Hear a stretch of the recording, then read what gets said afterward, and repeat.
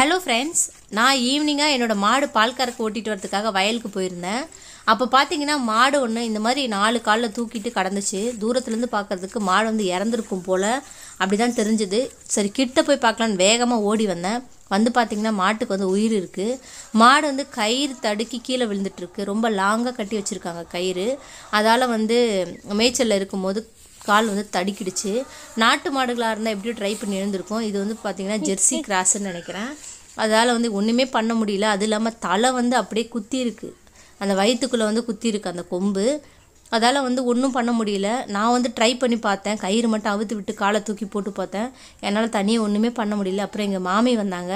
மாமி வந்ததுக்கப்புறம் ரெண்டு பேரும் அந்த கயிறுலேயே அந்த காலில் வந்து அந்த கயிறை விட்டு திருப்பணும். அதை வந்து வீடியோ எடுக்க முடியல. ஏன்னா அந்த டைமில் வந்து மாட்டை காப்பாற்றணும்னு மட்டும் தான் தோணுச்சு. தூக்கி திருப்பி போட்டு பார்த்தோம். சரி என்ன ஆகுதுன்னு பார்த்தீங்கன்னா மாடு வந்து நல்லா எழுந்து உட்காந்துக்குச்சுங்க. பார்க்கறதுக்கே வந்து ஆச்சரியமாக இருந்துச்சு. நான் நினச்சேன் மாட்டுக்கு எதுவும் ஆயிடுச்சுன்னு. ஈயெல்லாம் மொச்சி மாடு வந்து ஒரு மாதிரி ரொம்ப டயர்டாக இருந்துச்சு. சரி இது ரொம்ப நேரம் கழிச்சு தான் எழுந்திரிக்கும்னு நினச்சோம். அப்புறம் பார்த்தீங்கன்னா உடனே மாடை வந்து எழுந்திரிச்சிருச்சு மாட்டோட நல்ல நேரம். மாடுக்கு வந்து ஒன்றுமே ஆகலை. இன்றைக்கி வந்து ஒரு மாட்டை காப்பாற்றணும் அப்படின்ற ஒரு சந்தோஷத்தோட இந்த வீடியோ வந்து முடிச்சுக்கிறேன்.